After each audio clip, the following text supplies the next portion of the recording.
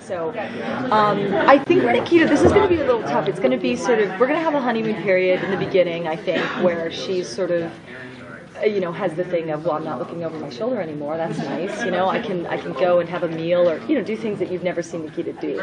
But then at the same time, you know, I think shortly into the series, I think she's going to be a little bit like, she's kind of got a boss now. You know, Nikita's always been her own boss, so I think that may become an issue. You know, she's still got people that she's got people to answer to now, and she, you know, how she does things her own way. So, I, I don't know if that's going to be totally, She seemed like she wanted to have a personal life at the beginning of last season. totally. So has she given up on that? No, not at all. And, and what's nice is we're gonna actually gonna get into that, and um, we're gonna we're gonna do something. We're gonna kick this season off with something that you would never expect to happen in the first episode of the season, which, in true you know Craig style, uh, is sort of the way they do things. It's great. So we're talking like a wedding? Uh, oh God, there's, there's a wedding on Nikita. I quit. No weddings, no babies. It's not happening. no, unexpected it should be. Unless somebody like you know elopes like in a cool way, but I was just like, no, no one's getting pregnant and no one's getting married. No, this is not a soap opera.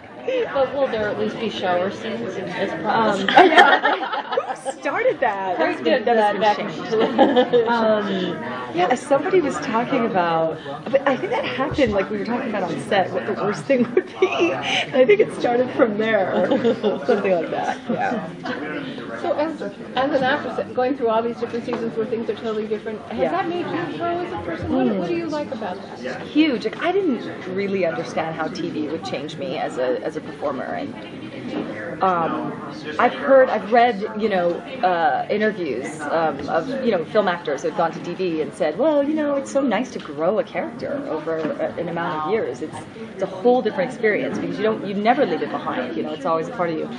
And I, I, it sounded all, you know, good, but when you're actually doing it, it is exactly that. It's it's sort of this long-term relationship you're in with, with another person that you're creating, and it's it's this bizarre, very sort of fulfilling thing that that you don't get from movies. I mean, obviously you get something else from movies, but yeah, I do love it. Now that she's kind of in a power position, responsible for government kind of hierarchy level, is her wardrobe going to change? It really is. See, what's exciting about the wardrobe this year is that Nikita gets to wear everything now. You know, she's not now she's on missions, but she's also in division, so she's you know corporate as well sometimes. But then we get to see her own maybe because now she gets to choose. She gets to go. Oh, I'll wear that jean and that T-shirt today. You know what I mean? Because she might be going to a yoga class or a or a coffee, and she's never done any of that. So. And then we're going to see her um, on missions, and we're also going to see her playing characters, you know, on missions, within missions. And so there's going to be a lot. We're, uh, the costume designer, let's let's put it this way, is very excited about this season So. So is any of her style your style? Uh, kind of. I mean, I feel like you can't totally separate it. I mean, when I'm going to Iraq, right? Sort of like, I love that. And she always goes, for you or for her? For you or for her? She always says that to me because I'm always going, that's for her. So it's fun. But yes, I think that I definitely influence her. But but I also, at the same time, um, I'm very sort of like I, I am very conscious of that. I don't want to, you know. And I'll even like my hair right now is so light, and people are like, "Are you going to do that for the show?" I'm like, "No, this is for me because I get to be myself for two months." Right, nice highlight. Yeah, thanks. And then I got to go back to, to Nikita, and so it's going to change. But this is, you know, I, I try to differentiate when What I about the living situation? Is she going to live in division? Is she going to want to set up house? No, she's she's got a house. We're not gonna see it right away, but her and Michael might have a house. They might have a house. Picket fence? a really high one with uh, with the barbed wire. Is it just for them, or are they going to be inviting everybody else to kind of stay? Well, we definitely, um, Craig and I discussed this. We thought it was so funny. We were like, I said, so, you know, living condition standards, this, that, and the other. And he said, well, yeah, you know, we'll figure it out. I go, they're not bunking. They're a freaking couple. None of this, like, seven people to a house thing anymore. You know, that's not happening. He goes, no, no, that's not happening. It was like, that's not happening. He's like, it's not happening.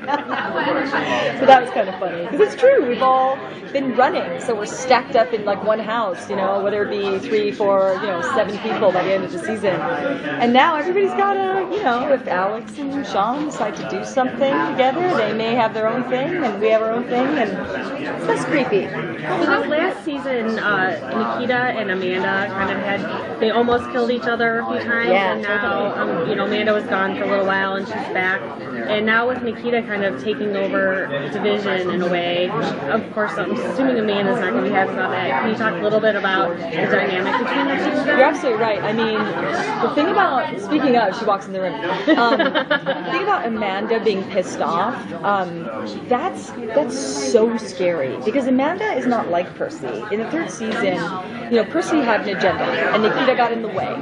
But Percy's agenda mattered more than Nikita did. He just wanted her out of the way. He was sort of pissed that she was always screwing things up for him. But it was a lot. It was very male. It was a lot less personal. It was just sort of like, get in my way, you're dead. You don't, you know, whatever. This is two chicks now, right? And she is mad as hell. And her only objective is to hurt Nikita. And she's going to do that any way she can. She has no other agenda but to hurt Nikita. And that's very, very different from Percy. So she's a, she's a massive threat this season. Yeah. And the fact that she has Fox and Ari is a big thing too. Very big. Is Nikita reporting to the government? In this, in the third season, she is.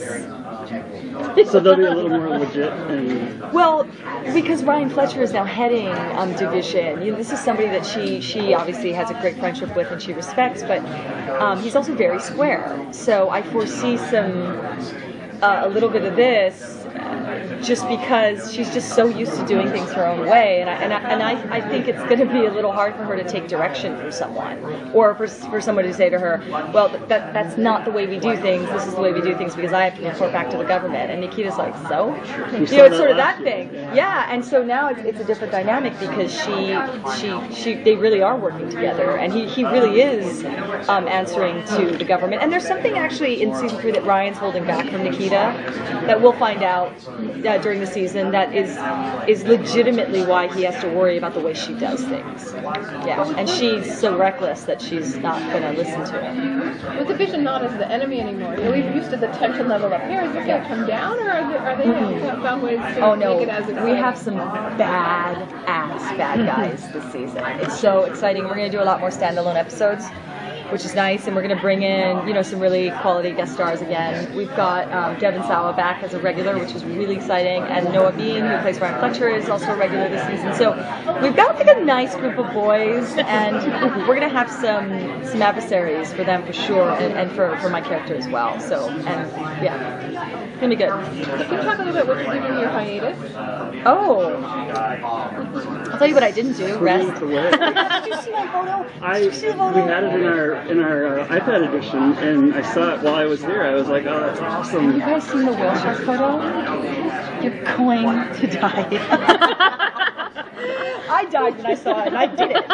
Um, I just got, I was in May Comic Con because I was um, in Cancun and I was diving with whale sharks off the coast of uh, Mexico because I work with a group called WildAid, uh, an endangered species protection group, and I'm on a big campaign to stop shark finning. And so anyway, we did these photos um, of me diving with these whale sharks, you know, for publicity to bring attention to, to the to the cause. And they're, I mean, they're just, they're the biggest fish in the ocean. I mean, they're they're friggin' I mean, it's like it's like swimming with the dinosaur. I mean, I, I haven't done that. I'm not going to compare it to you, but I'm, I'm, I'm assuming that that's what it was like. So, but I, I haven't rested a lot. I have to say, I, I've been promoting. I've been I've been around. I've been uh, promoting the show, and they're sort of a season behind and trying to forget what I know, and you know what I mean. Still promote the show. So like, so season one, episode four. I'm like season one, episode four. I'm like, ah, I have like a reference book. I've forgotten all the details. Going So along with that, like how how far into the season do you know? Do you know what's going to happen? Do they have a plan for the end of the season, and how hard is that to kind of keep straight where you are now, and what you're shooting, and, and everything right now? I, I, I know a lot. I know a lot. Um, but uh, season three, unlike season one and two, I, I don't I, I don't even think Craig knows how the season's going to end. But I think that they're doing that on purpose. They kind of want to see. I think they're they're doing like a, a little like writer's test, like writer's workshop test to see um, if, if if giving a set goal at the end of the season restricts them during the year, or if they just kind of opened it up and let it flower and move in different directions. If you could get things that you know possibly didn't happen in the first two seasons. So the writers are excited. They're scared because it's nice to have a goal, but um, we'll see. Yeah, we'll see. But but yes, I do know a lot, and I I try to. Um, be present so that it doesn't affect sort of what's in front of me. Um, but yeah, yeah, it's uh, you got to know certain things just to be able to deepen the experience. I was wondering, like, when did you know how the last season was going to end? Like, I knew for a long time. for a long time. and what did you what did you think when you first learned how what was where the season was going to end and what that would mean for where the series could go after Um, well, that? I, I knew where we wanted to go in season three. So that means in season two, somebody big's got to die, right? And and we already picked who we were losing, and and so that was known. Um, Craig and I had talked about it, and obviously the writers knew. But um, it was it was good. It was just sort of one of those things where I knew what Nikita's arc was going to be and where she was going to end up emotionally and mentally at the end of season two, and that was going to set us up to for season three. And and so so those things are kind of important for me because this overarching. I mean, when you do 23 episodes, the arc is long. You know, arcs are supposed to do this. Ours do you know sort of this, and it's it's it's hard to keep going at that level if I if I don't have my convictions in order, so to speak. having done the role for so long, is there anything of Nikita that you and have you learned anything from Nikita? Uh, I I do I do learn from her. She's incredibly patient, which I sort of admire. I mean, I love that she.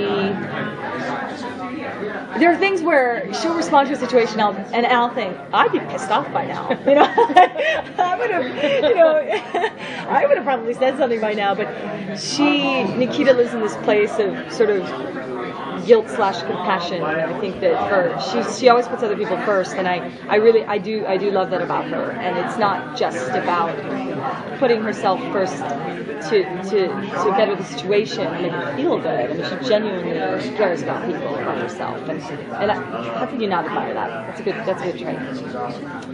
Going back earlier to what you said about the international view of the show, um, so what, what do you think about that? Do you think that's really what saved the show? That's totally what saved the show.